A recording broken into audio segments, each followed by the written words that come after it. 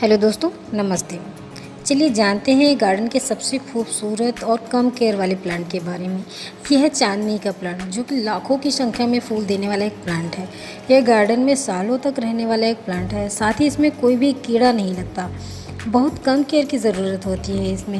ये एक Hardy plant है, इसकी कटिंग मानसून के समय में आसानी से और कम केयर में ही लग जाती है। चांदनी को गुल चांदनी, मून फ्लावर, चाइनीज़ टाइगर्स के भी नाम से भी बोला जाता है। चांदनी का प्लांट पूरे साल फूल देने वाला एक पौधा है।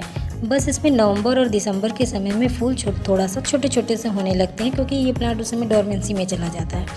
क्योंकि ये समर लिविंग प्लांट है तो ये मार्च से लेकर के नवंबर तक तो फूल देता ही रहता है। और इसमें ये जो फूल आते हैं, वो गुच्छों में आते हैं। सबसे अच्छी बात यह है कि पौधा कटिंग से आसानी से तैयार हो जाता है। इस प्लांट को मैंने कटिंग से तैयार किया है। अभी सितंबर का महीना चल रहा है। इसको मैंने जुलाई के फ़र्स्ट वीक में लगाया था।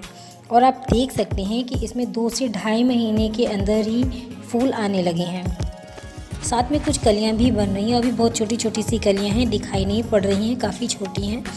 और इस प्लांट पर जब फूल आते हैं तो ये प्लांट वाकई में बहुत अच्छा लगता है, क्योंकि इस प्लांट की टिप पर फूल आते हैं तो ऐसा लगता है जैसे पूरे प्लांट पे चांदनी सी बिखर गई हो। यदि आपके पास कोई गमला खाली पड़ा हो तो मैं आपको यही सजेस्ट करूँगी कि आप इस प्लांट को जल्दी से लगा लें। इसकी और भी वैरायटी आती है। इसमें मिनी चांदनी आती है और डबल चांदनी भी आती है। नर्सरी में आसानी से मिल जाएँगी आपको। और अगर इसकी कलर वैरायटीज़ की बात करें तो ये सिर्फ़ वाइट इस पौधे की फ़र्स्ट प्रूनिंग आप फरवरी मंथ में कर सकते हैं और सेकंड प्रूनिंग आप जून के महीने में कर सकते हैं मानसून के स्टार्टिंग से पहले। यदि इस प्लांट को आपने टेरिस गार्डन पर लगा रखा है तो फिर आपको इसकी खाद पानी का विशेष ध्यान रखना पड़ेगा। इसके, इसमें क्या होगा कि पंद्रह से एक महीने के अंतराल में आप कोई भी फर्टिलाइज़र देते रहें। इससे प्लांट हरा भरा रहेगा, पत्तियाँ चमकदार होंगी और फूल भी आएँगे और फूलों की जो संख्या होगी वो ज़्यादा से ज़्यादा होगी। केले के छिलकों को पौधे के लिए वरदान सकता है। यदि आपके पास कोई खाद नहीं है तो केले के छिलकों को छोटा छोटा सा काट लें। मिट्टी में एक इंच नीचे दबा दें। केले के छिलके में पोटेशियम होता है, जो कि फल और फूल बनाने में मदद करता है। इससे आपके प्लांट जो कि हरा भरा और साथ में घना भी हो जाएगा।